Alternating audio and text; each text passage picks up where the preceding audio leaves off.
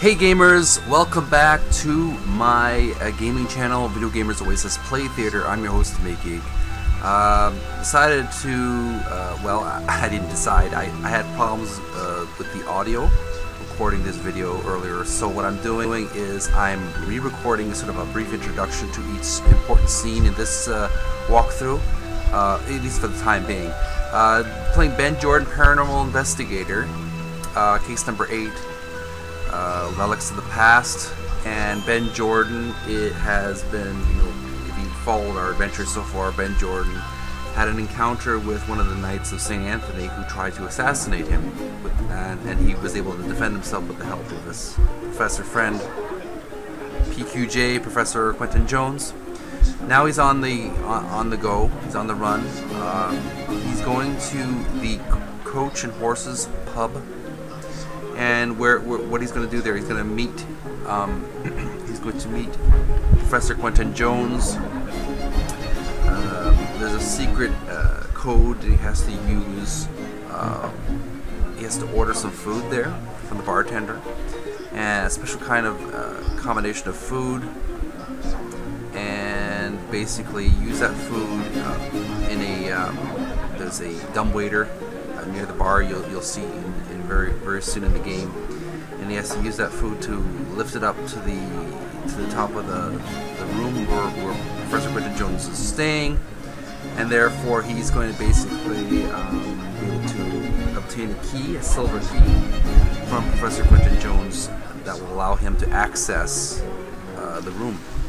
So that's the mission for this video. Basically, where Ben has to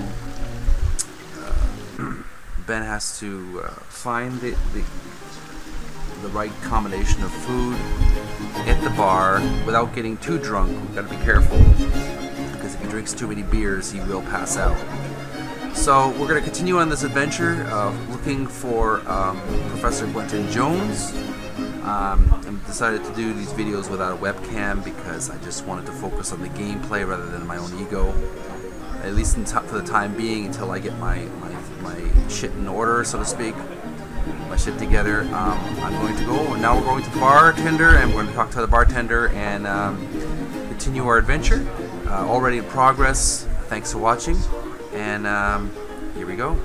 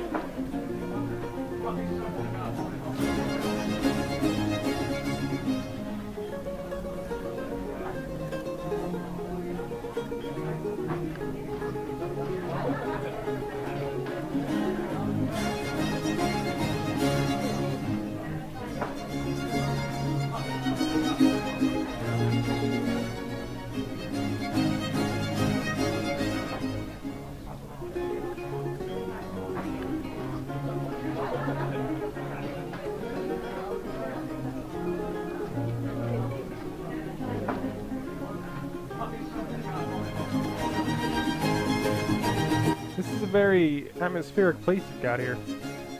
You won't find a better pub in all of London.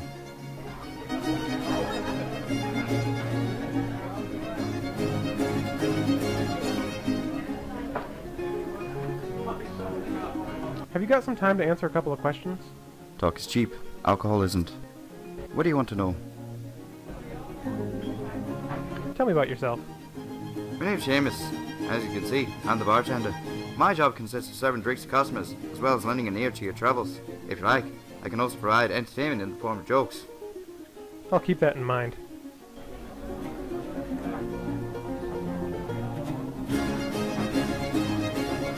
What can you tell me about this place? Coach and Horse has been here for as long as I can remember. In fact, my dad used to come here when I was a lad. I'm sure you're doing him proud by working here. I'd probably, he'd be plenty proud if he was still alive. Oh, I'm, I'm sorry, I didn't know. Of course you didn't, but 17 pints a day will do that to you. I'd like to think he helped keep this place in business. A touching thought. I'd like a drink, please. You came to the right place for it. What'll it be? Something to make me forget my problems. Ah, I got just the thing for you. Here you are, laddie.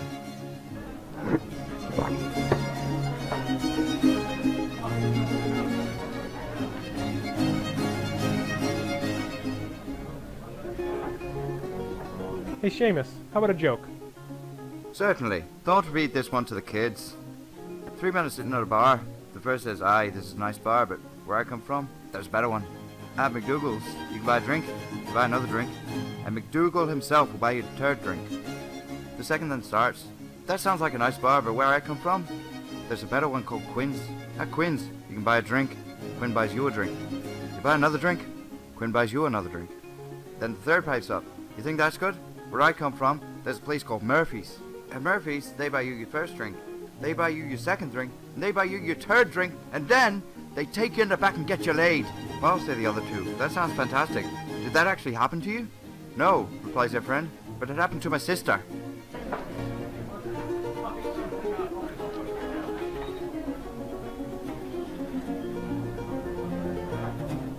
Hey, Seamus, pour me another one of those drinks you gave me. One problem solver, coming right up. Here you are, laddie.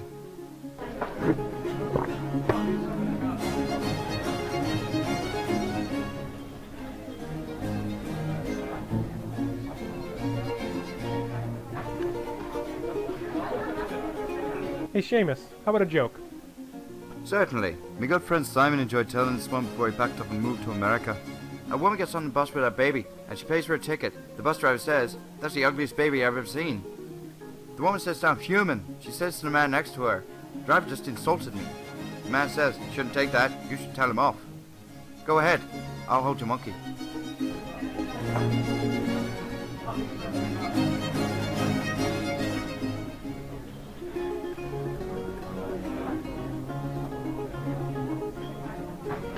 I'll take other problem solver if you don't mind.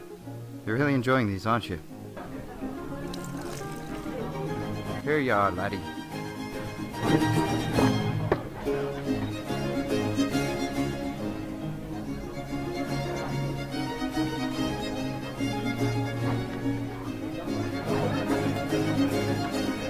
See you later. Take care, laddie.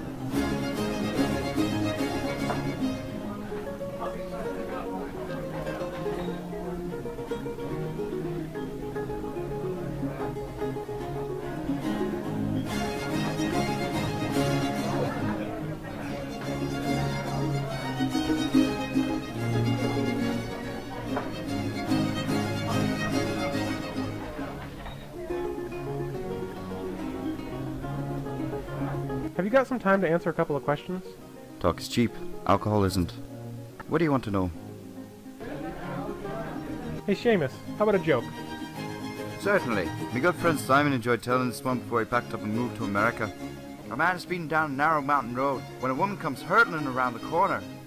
He swerves to avoid her, but as she passes, she leans out the window and screams, Pig! Shocked, the man turns and yells back, Bitch! as he reaches the bend and crashes into a pig.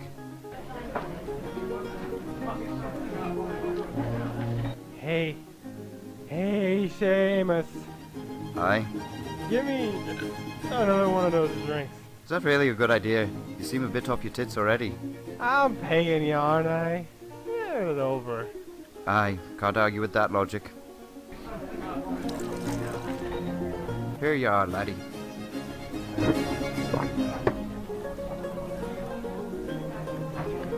Poor bastard. Had more problems than liquor could solve, it seems.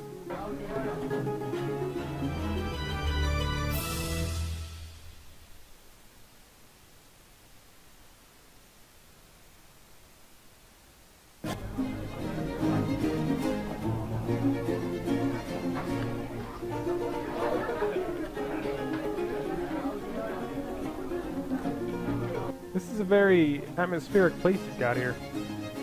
You won't find a better pub in all of London. Have you got some time to answer a couple of questions? Talk is cheap. Alcohol isn't.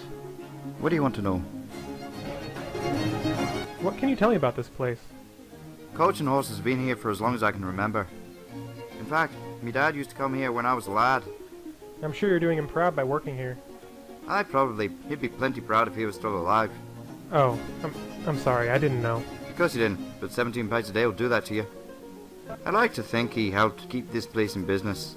A touching thought. Tell me about yourself. My name's Seamus. As you can see, I'm the bartender. My job consists of serving drinks to customers, as well as lending an ear to your troubles. If you like, I can also provide entertainment in the form of jokes. I'll keep that in mind. I'd like a drink, please. You came to the right place for it. What'll it be? Something to make me forget my problems. Ah, I got just a thing for you. Here you are, laddie.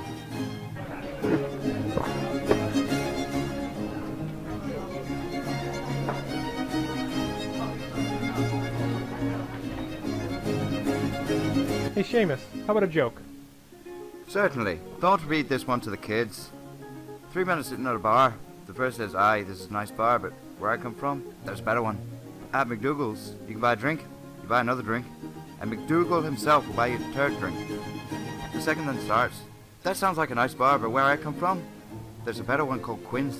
At Quinn's, you can buy a drink, Quinn buys you a drink. You buy another drink, Quinn buys you another drink. Then the third pipes up. You think that's good? Where I come from, there's a place called Murphy's.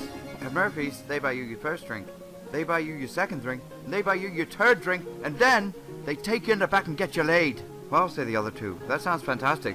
Did that actually happen to you? No, replies their friend, but it happened to my sister. See you later. Take care, laddie.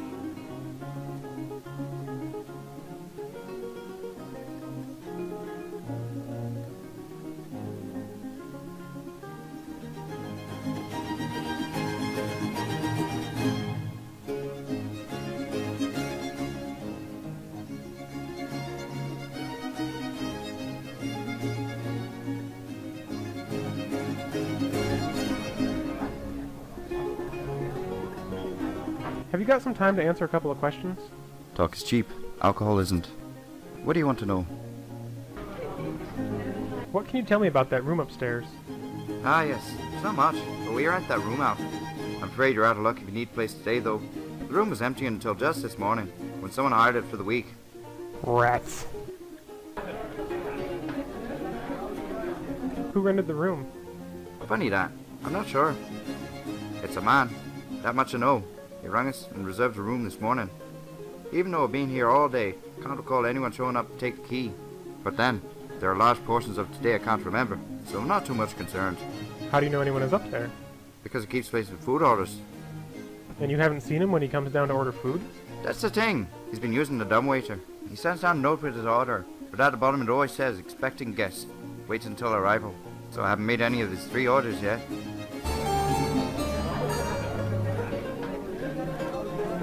What has your upstairs guest ordered? Let me see.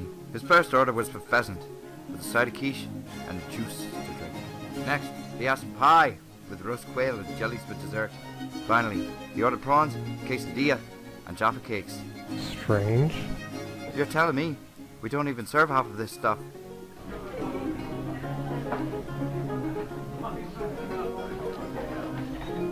What is your upstairs guest ordered? Let me see. His first order was for pheasant. Next, he asked finally, Strange. you're telling me, we don't even serve half of this stuff. I'd like to place an order for some food. Ah, of course. You get a main course, a side dish, and a dessert. What will you have?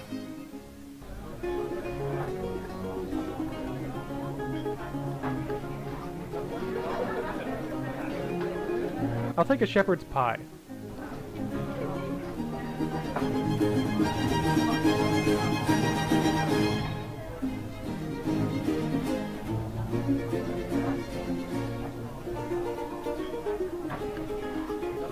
And a side of french fries.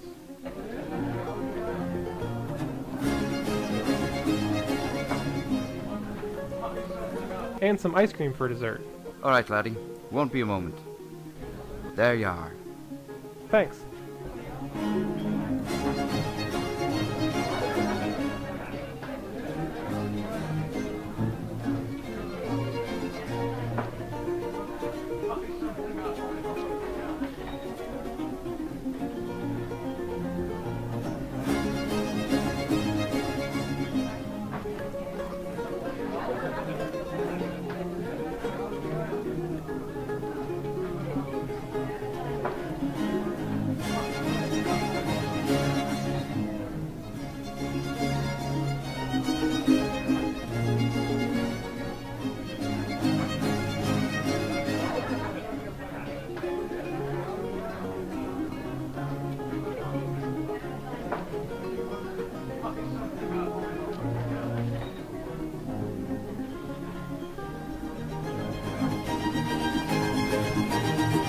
Got some time to answer a couple of questions? Talk is cheap. Alcohol isn't. What do you want to know? What has your upstairs guest ordered? Let me see. His first order was for pheasant, with a side of quiche and a juice to drink. Next, he asked pie, with roast quail and jellies for dessert. Finally, he ordered prawns, quesadilla, and jaffa cakes. Strange. You're telling me, we don't even serve half of this stuff.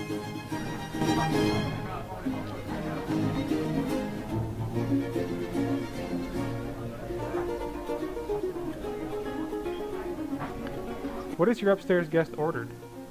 Let me see. His first order was for pheasant, a side of quiche and a juice to drink. Next, he asked pie, with roast quail and jellies for dessert. Finally, he ordered prawns, quesadilla, and jaffa cakes. Strange. You're telling me, we don't even serve half of this stuff.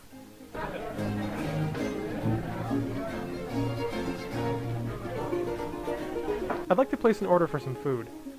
Ah, of course. You get a main course, a side dish, and a dessert. What will you have?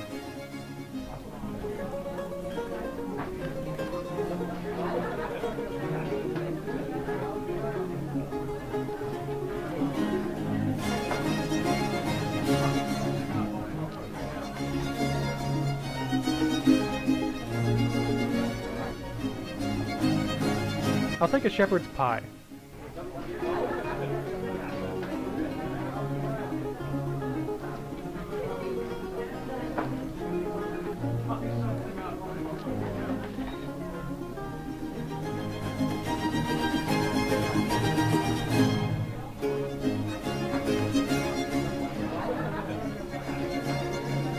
A side of Jaffa cakes.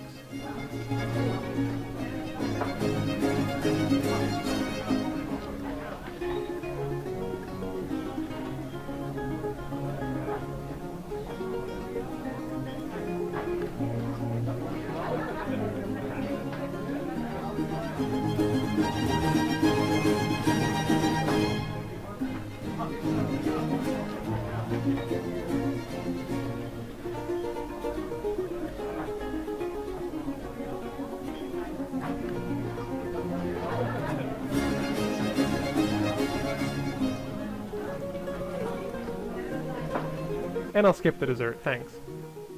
Alright, laddie. Won't be a moment. There you are. Thanks.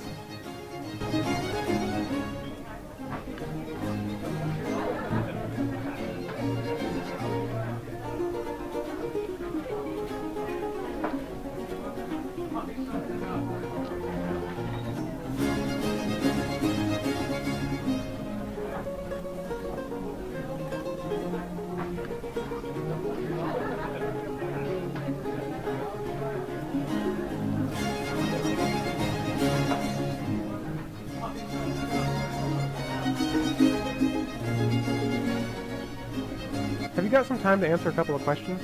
Talk is cheap. Alcohol isn't. What do you want to know?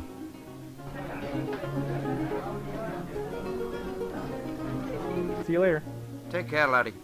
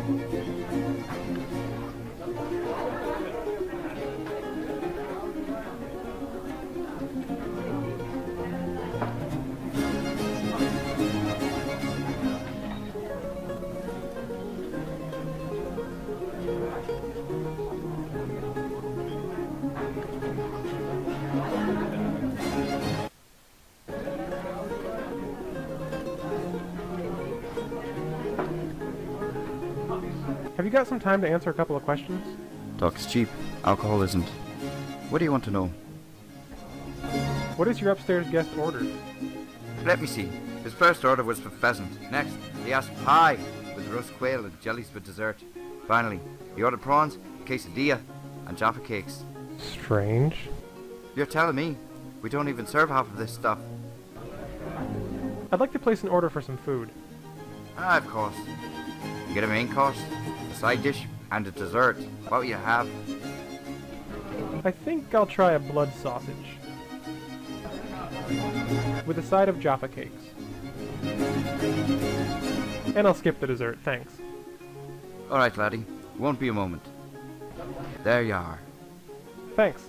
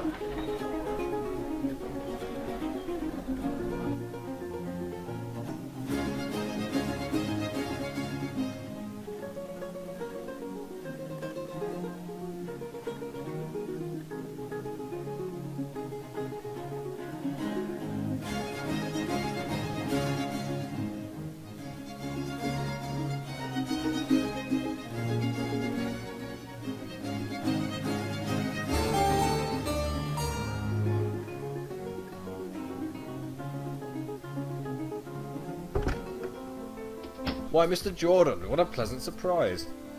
Pleasant surprise. Only joking. I knew you would find your way up here soon enough. Wasn't it kind of dangerous sending the key down like that? Anyone could have come up. I would have been most impressed if anyone who was not you had managed to figure out my food code. Thanks, I think. At any rate, feel free to make yourself at home. My apologies for the sparse decorations, but I had very little time to set up. Well, I'm glad you're able to keep such high spirits during all this. Oh, someone has to, Mr. Jordan. Otherwise, why bother carrying on? You have no idea how often I've been asking myself that today.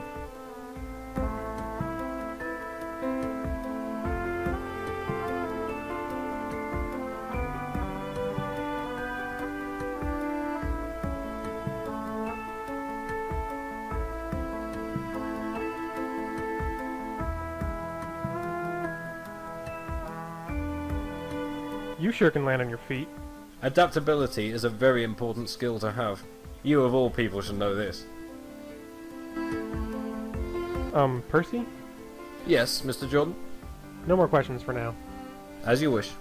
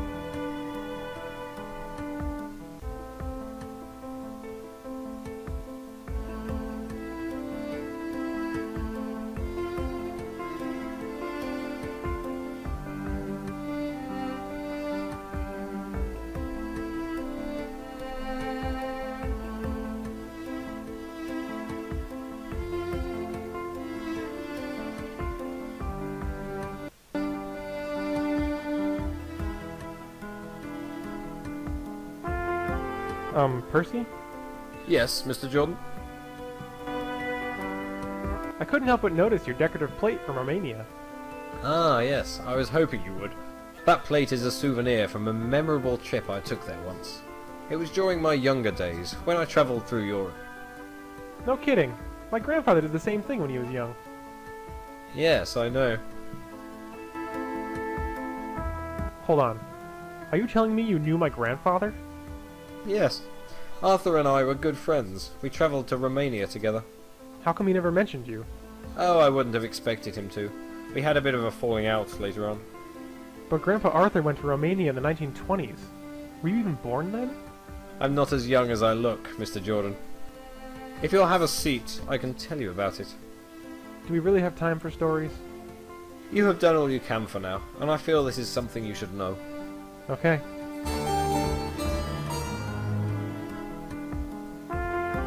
Now then, I met your grandfather in London in the early 1920s at this very pub.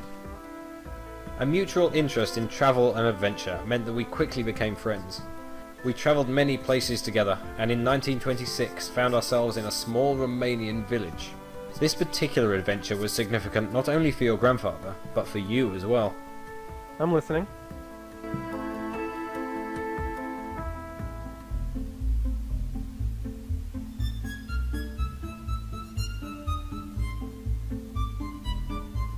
Scenic little town, isn't it? Indeed, quite atmospheric. Did you know this is where Bram Stoker took his inspiration for Dracula? Count Vlad Tepes, the man who inspired Dracula, was supposedly born in this very town. Of course, he was better known as Vlad the Impaler. Always a source of fascinating trivia, aren't you, Percy? I do like to keep myself informed. Right now, the only information I need is the location of the closest hotel. We've been traveling a long time. I'm beat. Yes, a good night's sleep sounds wonderful. Don't suppose you can read Romanian. A bit, actually. But I'm sure there has to be a hotel around here somewhere. The town isn't very big. Let's take a look around then.